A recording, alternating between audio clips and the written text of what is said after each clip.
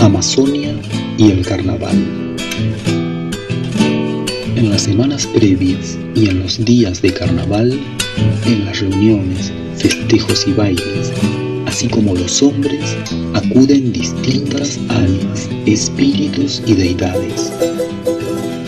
Desde todas las regiones coinciden en toman forma humana y se mezclan entre la gente que viene por miles desde distintos lugares, incluso desde otros continentes.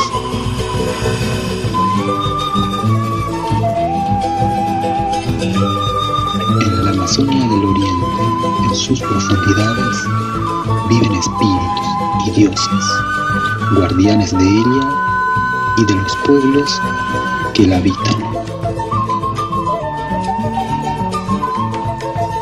Viven en perfecta armonía, pues ambos mundos se respetan.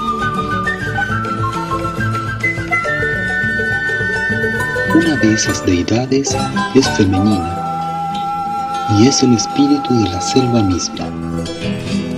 Es quien produce su flora desde tiempos antiguos en los que ni hombres, ni animales, ni luz se conocían. Fue así que a la llegada de los mismos, enviados por Miracocha desde Tehuanaco, Amazonia procuró que prosperen plantas, árboles y hierbas en gran variedad y cantidad, que broten aguas, ríos y fuentes, para que de ellos humanos y animales tomen lo necesario para subsistir. Es difícil hallarla. Nadie la ha visto pero saben que existen, por lo que en señal de respeto cuidan y agradecen lo creado por ella.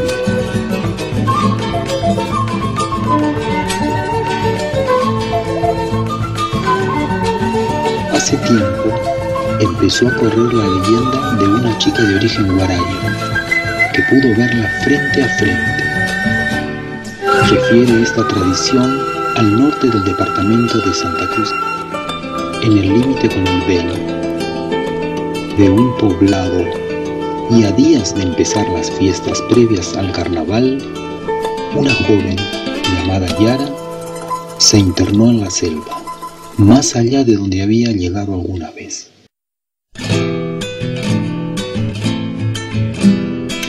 Buscaba las mejores cañas y maderas para hacer lanzas y escudos para danzar con los suyos. Muchas tribus se juntaban en esas fechas. Era todo fiesta, que ella de pequeña gustó. Unos dicen que enfermó, otros que fue atacada por un felino. Casi desvanecida, Yara vio acercarse una mujer de cabellos negros y mirada tranquila. Yara le rogó que la ayudase a regresar, pues quería bailar en el carnaval y volver a ver a sus padres, sin saber que por su estado ya no regresaría. Amazonia dudó del extraño pedido. ¿Qué era el carnaval? se preguntaba. No podía salvar a la joven. Eso es solo voluntad del Señor Creador de todo. Ella solo cuidaba y daba vida a la selva tanto significa el carnaval para que esta niña arriesgue su vida. Conmovida, se decidió al fin ayudarlo, mas no podría salvarlo. No estaba eso a su alcance. Los días habían pasado y sus padres se preocuparon. Ella volvió al pueblo en el que ya sonaba música de tambores corrió a abrazar a sus padres, los miró sin decirles nada. Solo hablaron sus ojos. Luego se perdió entre gente, lanzas, escudos y plumas. Bailó, bailó como nunca. Sonreía constantemente, animaba hacia sus pares con su alegría. Luego, al amanecer, Partieron a pocas leguas, lugar del gran encuentro, y allí prosiguió el baile.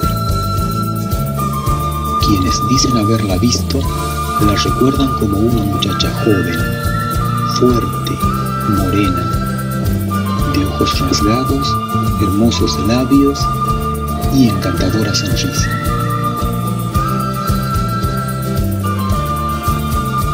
Pero lo que más sobresalía en ella era su profunda mirada, tan profunda como la misma selva. Solo su presencia inspiraba fervor.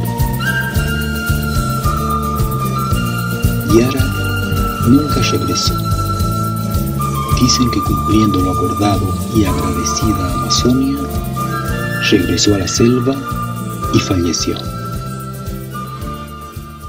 Así es como puede verse Amazonia en el más grande carnaval andino, recorriendo las calles de Urú, en la fiesta donde distintos dioses comparten con los mortales. Toma distintas formas humanas, de mujeres esbeltas, morenas y de larga cabellera.